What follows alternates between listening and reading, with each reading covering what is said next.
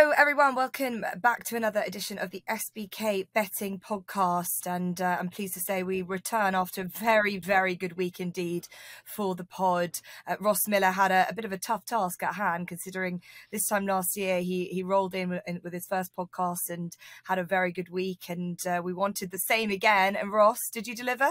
No, not quite, Jess. But I was was oh was, come on was happy it was happy enough with uh, with uh, Highway 102 um, I thought it was a good performance. I think he's a progressive horse, and Chris Gordon Yard in absolutely flying form.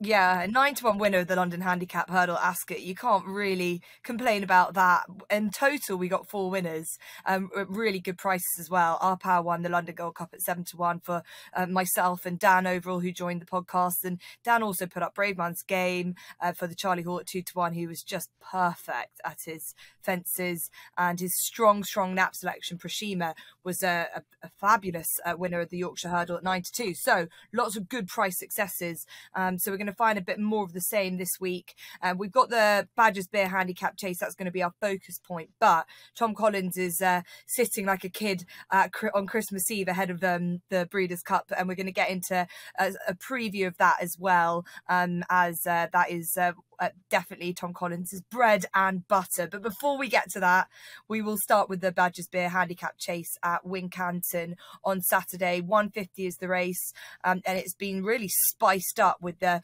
the late uh, decision to have Frodon run in this race as opposed to go to Down Royal. Um, and Rillo uh, is uh, the other runner for Paul Nicholls, and he heads the betting at 9 to 2, Frodon at 5 to 1, Lord Accord 11 to 2. Captain Ord 6 to 1, Potterman 8 to 1, Red Happy 10 to 1, Rocco 12s with Slipway, Irish Prophecy 14 to 1, uh, and it's bigger prices for the rest of them.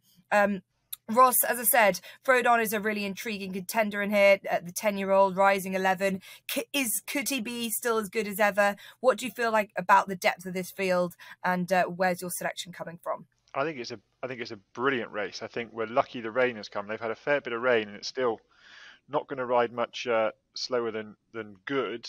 Um, so thank God the rain came. Frodon adds a fascinating dimension to it. Uh, is he as good as he was? Most certainly not. Um, but he is a horse that won a handicap off 164. So when he was at his best, he was a very, very good horse. Um, he's been dropped six pound for his run in the Ultima, which looks fairly generous considering he was he was struck into during that race. So I think you can probably say he was was hampered by his well being in that run. Um, I just sort of slighted at the view last year that he was starting to get a little moody in his races and perhaps not as full of zest and enthusiastic as he was. And I think that's a key attribute to him is that sort of forward going, free jumping style. Um, first time out might be the time to catch him, and Paul Nicholls is in great form. I think it's 13 winners from his, his last 34 or something like that, 38% thereabouts. Um, so you've got to respect him. I just wonder whether Father Time is catching up with him in a handicap whether they might just take him off his feet. So wouldn't be a surprising winner, but I've looked elsewhere. I think you have to mention mm. Rocco, um, coming in six pound lower than when winning it last year. Um, but he was a surprising winner last year. He's done nothing in five runs since, down to 128. Jordan Nailor keeps the partnership, but he's without his three pound claim now. Rocco surprised me last year when he won it. Uh, he'll surprise me if he wins it again. If he does, it won't be a surprise because he's handicapped to go close off a break, but you just can't be backing him off his current profile. Potterman again, uh, just a pound higher than when second last year, but he was pulled up on his last start. The one I'm really quite sweet on is Captain Ord.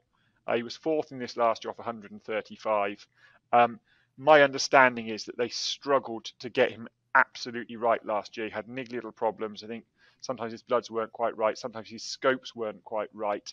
Um, the time they thought they had him cherry ripe was when he won the Coral Trophy off a mark of 127.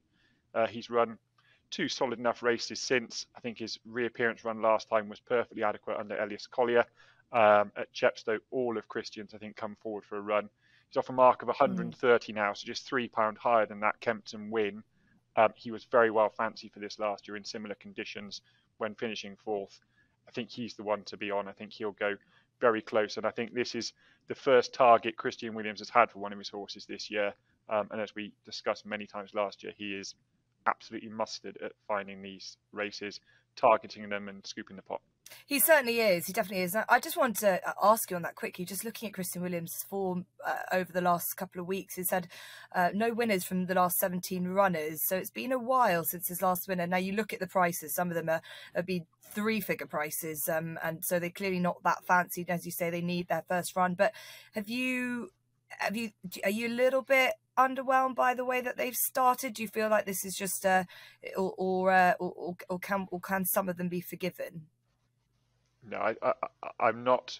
Uh, maybe this is blind blind faith in my fellow Welshmen, but no, I'm not. I'm not worried in the slightest. I think all of these horses are geared up for targets later down the line. I think there's a number that have probably gone high enough in the handicap and probably need to come down again before they're competitive. And he's got a lot of young novice hurdlers that probably, to all intents and purposes, are going to be handicap chasers in time. They're not going to be up to winning a novice hurdle, so they're probably not primed to run to their absolute maximum these novice hurdles. Should we put it that way? Mm. Um, so no, I think Captain Ord had a prep run.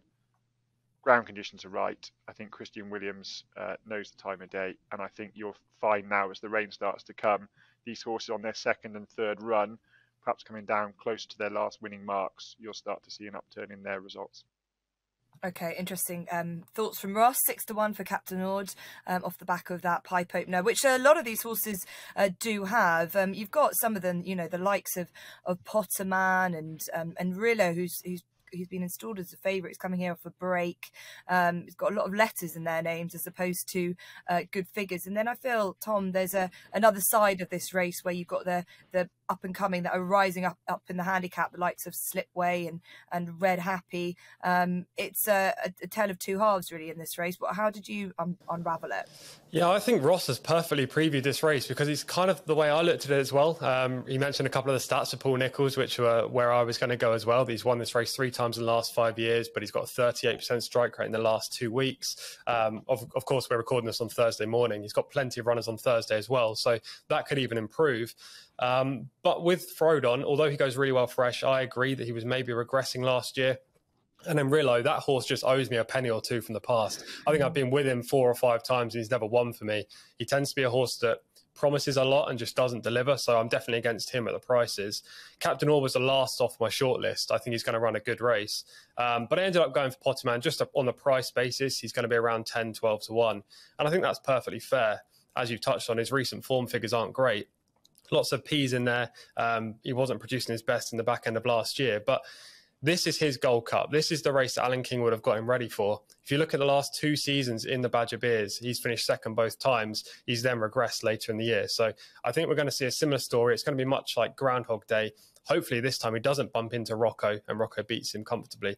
Um, but I thought he ran well enough last year to say that if he comes back in the same kind of form, he's got a fantastic chance of winning.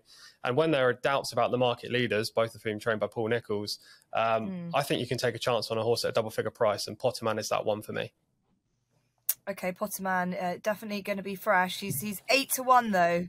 Um, is is that is that you wouldn't want to see him going any shorter than that? I would imagine TC. No, no shorter than eight. So I think he'll probably drift out to tens. To be honest, on the day, um, there'll be some money for Captain Ord, I'm sure, um, as well as both Frodon because he's a fan favourite and Rillo as well because he showed last year in handicap chases that he can run to a good level. So I think he might be a slight drifter on the day. People seeing all mm. those P's in the old form figures, but uh, yeah, yeah, that wouldn't put me off. Okay, right. Well, um, plenty of peas in uh, Potterman's uh, form figures, as you say, but could be his day um, where it all comes good for, for the Alan King runner. I'm um, going to side with Lord Accord, who comes here off the back of his, his great victory at Cheltenham last time. Uh, Richie McLernon uh, keeps the ride. He, has gone up five pounds in the handicap, um, but he's still very well weighted for a race like this. 10 stone six on his back. He's a young horse, seven year old. I think the ground is key. Now, we are getting a lot of rain at the moment down the south where we are, but it's all very local Wincanton have struggled to even get their this, their meetings on. Um, they've been cancelled and cancelled because of quick ground. I think it is still genuinely good. And um, Lord Accord is a horse that just does need it um, pretty um, pretty lively. So if it remains like that, I think he could be he could be well suited by it, and he comes into off the and just in, in really good form for the Neil Mulholland Yard. So that's Lord Accord for me um, at 11 to 11 to two for the Badgers Beers handicap, which as we say is got the the wonderful Frodon in it and Embrillo, um, who heads the betting for Paul Nicholls, who's just been in in absolute great order as well. Um, we've got so much racing on this weekend. Uh, it's the sort of the end of the flat season officially with the November handicap at Doncaster. I'd imagine there's been a lot of rain up there as well. Um, but we've um, I got uh, plenty of opportunities now to look at the be- bet of the week from our team. So, um, TC, I'll come back to you first. Yeah, we're going to actually go to Doncaster for that end of the end of the flat season meeting. Now, you know, when there's flat racing on, I tend to look there first, um, and it's the listed Gillies Fillies Stakes. Very interesting name for a race that one um, at Doncaster. It's the 130. Now, it's a real wide open handicap. a listed race, sorry, but there are plenty of three year olds in there, four year olds as well. Um, Three year olds have won five of the last nine renewals of this race, including three of the last four. And the market is going to be dominated by three year olds, including a, a Godolphin runner who's going to be top of the market. But I much prefer Moon de Vega. now, if you look at her form figures from this year, you'd think, why would you back this horse? Because she hasn't shown that much just on the numbers that you can see on the on the race card or the paper. However, she's been super highly tried. I mean, she ran in the Epsom Oaks. I have to say Epsom Oaks because she ran in the Cheshire Oaks before. Um, so she's been kind of put in at the deep end so far this season. Last time out, she ran on the all weather, which just wouldn't have helped. Last year, she made a winning start on a third outing at Doncaster on soft ground in the autumn. I think this has kind of been the aim. They've just been waiting for soft ground. It's just not happened this season. There's been, you know, brilliant weather throughout the summer for, for Great Britain. Um, now we're going to get heavy conditions. I think Ralph Beckett will be praising uh, the weather because, you know, he needs he needs plenty of rain for her. And if you look at her pedigree, she's a daughter of Lope de Vega, who obviously won the uh, Group 1 Prix de Jockey Club on soft ground. She's out of a mare as well called Lunesque, whose only career victory came on good to soft, over one mile three furlongs. So she's got plenty of stamina and plenty of pedigree for testing conditions. Last year, when she won at Doncaster, she had to make the running that day. There was no speed up front. She briefly got passed by a horse called Suffragette, who was trained by Mark Johnston. Now, it looked like she was going to go backwards through the pack, but she actually fought back really gallantly over a mile to get her head back in front.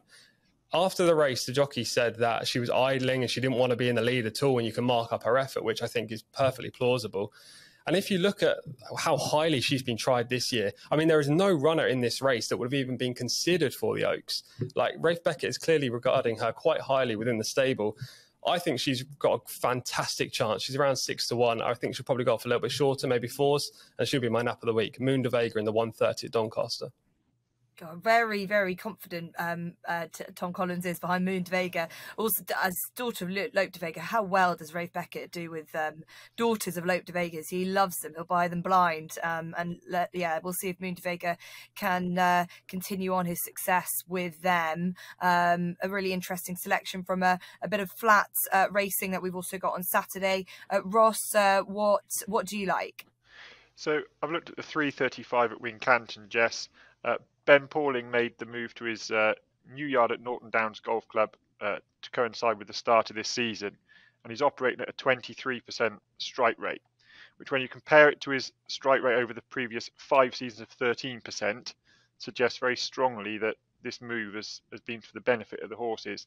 Um, mm. Bali Basket made a return after a wind up at Stratford uh, back in the late summer, um, ran a good race to finish third built on that when a facile winner at over two and a half miles at Uttoxeter the next time had a fair hike in the weights of about nine pound, but that didn't look to be stopping him last time at Market Rasen when he sort of made an unexpected error four out and, and then got bumped by the horse in second and shipped Kielan Woods out the side door. Um, it's too far out to say he was going to win, but he was certainly travelling nicely and, and jumping beautifully up until that point. Um, he now comes here with Luca Morgan taking three pound off.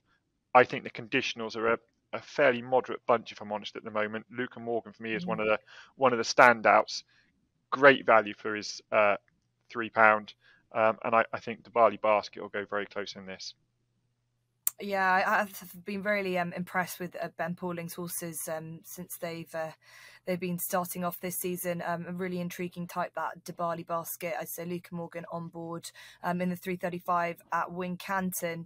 Um, I'm gonna head to uh, Doncaster myself um, for the November handicap, and uh, this race is always a, a, bit of a war of attrition, especially if it gets soft. But it's actually heavy up there, so it's going to be a real, real test of stamina, and I think it should suit um, for George Baker and Neil Callan's on board which is uh, we know that he's been a man for the big occasion this season.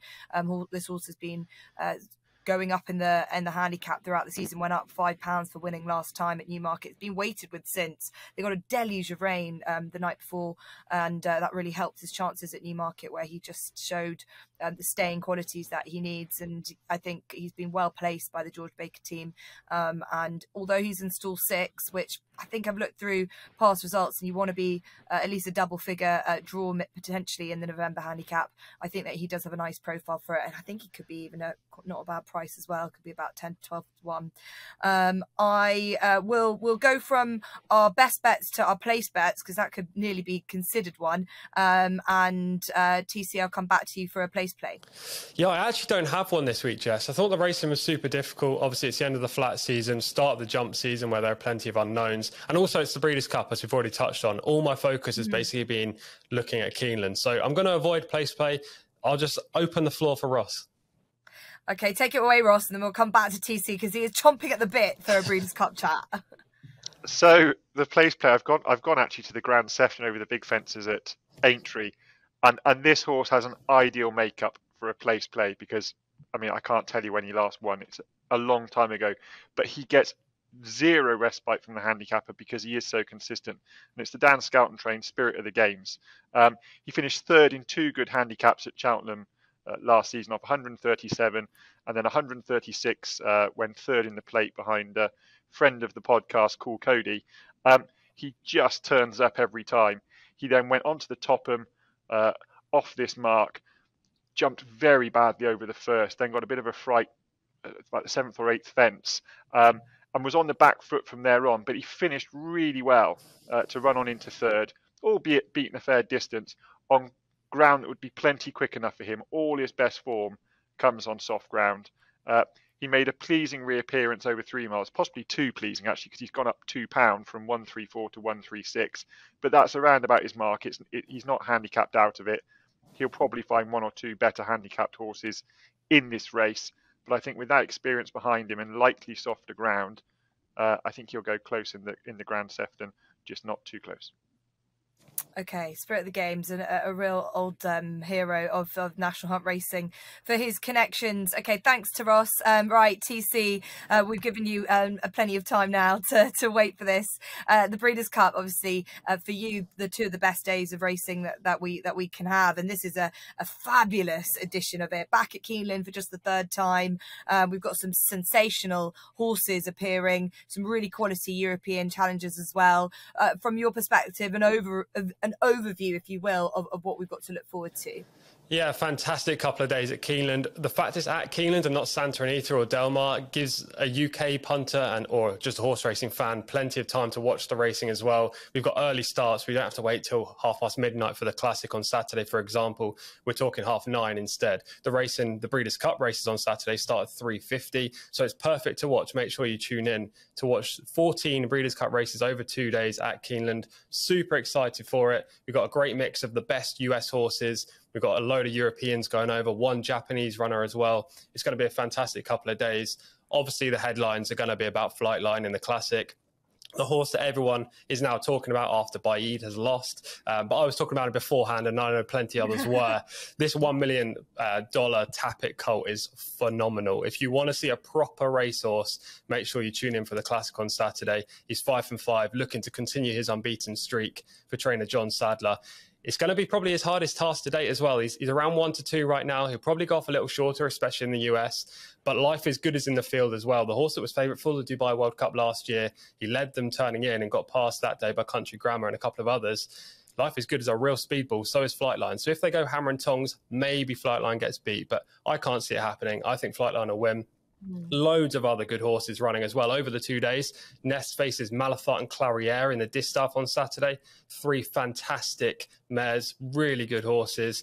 Um, Modern Games goes in the mile for Charlie Appleby. He's also represented in the turf with, by Rebels Romance and Nation's Pride.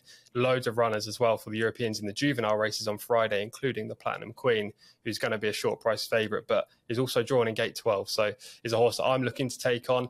Um, yeah, I'm just super excited, Jess, if you can't tell. Lots of picks, especially if you go onto betting.getsbk.com where you can see my mm-hmm. columns over the two days. But uh, yeah, hopefully a few winners. Yeah, it's a it's a meeting that I love as well, and, and have been following the the p- potential European contingent throughout the throughout the year too. And I think we've got a really healthy load. And I think it was 2020 where we had such a spectacular evening on the second day um, with Tarnawa and Audarya um, and Order of Australia, who's back to to, to try and get um, his revenge in the Breeders' Cup Mile. So it, it could be really we could have a really strong run of things. Is there if you could select one one nap and one value play for us to take away with what would they be? Is there a European horse that you think has got the, the best opportunity here? Well, my Friday column's live. My Saturday picks I made last night, so these are very fresh. Um, European player, the main European player, I think the horse with the best chance is probably Nashwa on Saturday in the Fillion Mare Turf. Uh, I think she's got phenomenal chances at 550. Obviously, John and Thady Gosden um, haven't sent too many runners over there. She's their number one. I think it's a pretty weak race, especially for US runners. So she's got a great chance. But she's not in my Napa next best. They're both US horses. Flightline would be the obvious selection here, but obviously I'm going to avoid him. Um, the Nap, if you want a horse that I don't think can be beaten, that is Jackie's Warrior in the sprint on Saturday at 6.30. He's currently around 4 to 5. I make him around a 1 to 2 shot. I think he's got a phenomenal chance with a clean break. He should win. Next best, I'll go for one at a bit of a price because you know we don't want two odds-on shots here. Um, so oblic- obligatory, I can't even say the name. Obligatory, obligatory, yeah, around ten to one in the Fillion Mare Sprint, the 350 on Saturday. Um, she's a deep closer. She's going to need loads of pace up front, and you need the pace basically to collapse, and then she can finish off her race down the outside which is a slight negative because Keeneland has been suiting front runners throughout the full meet, which has just ended, um, and the track will be playing quick. But there are loads of front runners, loads of pacey horses in this race, and I do think it's going to suit the closer. She's 10 to 1. I think she's going to win for Bill Mott in the 350. Okay, you've got a real uh, strong um, affinity to these American horses, and yeah, I do. I think I think we shouldn't uh, underestimate them as well. We always feel like, especially our turf horses, uh, normally better than them. But um, yeah, I think that there's one horse for me in particular. I wonder if you agree, TC, that is going to be uh, much better, much faster than than ours in the Breeders' Cup Turf Sprint, and I think that's Golden Pal again. Look, he's so so good when he's on home soil. He just breaks from his gate so quickly, and obviously we've got the Wonder Mare that's in Highfield Princess and the in the uh, in the in that race as well. But I think he's just he just dominates, doesn't he? Um, so although my heart says Highfield Princess, my head says Golden Pal and that Breeders' Cup Turf Sprint, and uh, and also slightly underestimated maybe, but Rebels Romance in the Breeders' Cup Turf. Uh, he's the, he's got James Doyle on board. Obviously, Nation's Pride for um, Godolphin is is heading the heading the betting and potentially will go a favourite with William Buick on board. But I just think it, Rebels Romance has been expertly placed, as has Nation's Pride, um, to try and keep them apart. So be fascinated to see what they'll do um, when they uh, the lock horns in that in the in the in that showpiece too. Um, as TC has said, you can see you can read much more about um, his insight into the Breeders' Cup on uh, the SBK blog. Um, we have got so much to look forward to on Friday and Saturday from a Breeders' Cup perspective, but then of course of always back to our domestic action here for the Jumps fans at Wincanton and throughout the rest of the country. And uh, we also um, have some the end of the turf racing in the UK at Doncaster too. So that is a look, quick look through all the best that we can give you. A reminder that New SBK customers can get £30 in free bets by betting £10. T's and C's always apply make sure to subscribe so you can listen to this podcast every week without forgetting. Where you can listen on YouTube and all your podcast feeds, and uh, make sure to check out the SBK Ambassador content that we've got available to you as well, including stable tours. That's it for another week. We hope we found a few more winners. TC, enjoy the Breeders' Cup. I know that you will be in your element, and Ross as well. To you, best of luck for your selections. Thank you for joining us, and we'll see you next week.